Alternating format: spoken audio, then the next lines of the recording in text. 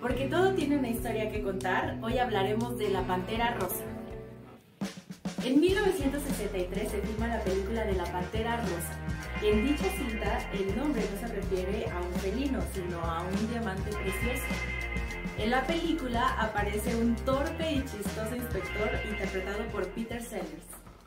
La película tenía una secuencia de apertura animada creada por The Patty Freleng Enterprises, con el tema principal compuesto por Henry Mancini.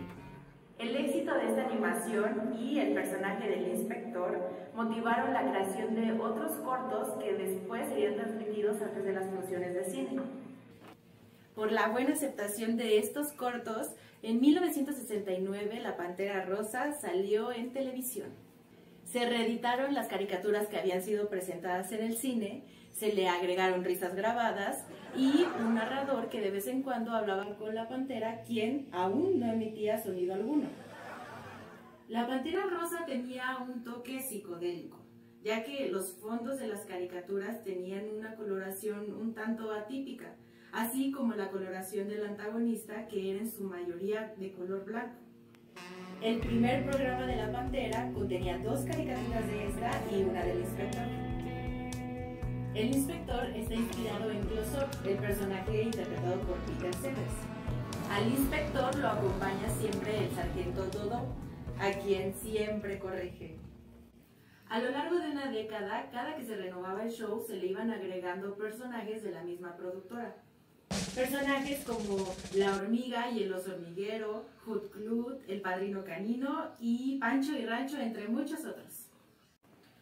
Y a principios de los 70 se vendió un álbum de estampas de La Pantera Rosa y El Inspector, así como historietas que fueron saliendo. Desafortunadamente era muy común que se repitieran los episodios que se habían producido para cine, ya que no se producían nuevos. La Pantera Rosa era un personaje que fumaba algo que después sería considerado como un mal ejemplo para los niños. En 1984, Hanna-Barbera compró los derechos del programa para hacer una nueva serie que se llamaría La Pantera Rosa y sus hijos. El concepto del programa cambió drásticamente, ya que ahora el aún silencioso Pantera Rosa tenía que hacerse cargo de sus dos parlantes hijos, Pinky y Punky.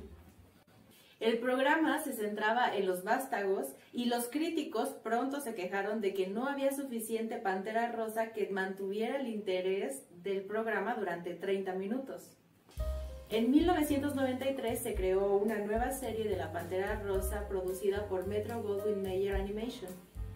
Aquí la pantera habla y a diferencia de los cortos anteriores, no todos los títulos de las caricaturas tienen la palabra rosa. En 2007 se produce una nueva serie en donde presenta a la Pantera Rosa y al oso hormiguero como adolescentes. La verdad es que esta temporada no tuvo mucho éxito y solo contó con 26 episodios. Finalmente, en 2011 se transmitió un episodio navideño de La Pantera Rosa en donde se regresó a su forma clásica. Y ya sabes, si te gustó este contenido, darle clic a la campanita, darnos me gusta, compartirnos y suscribirte.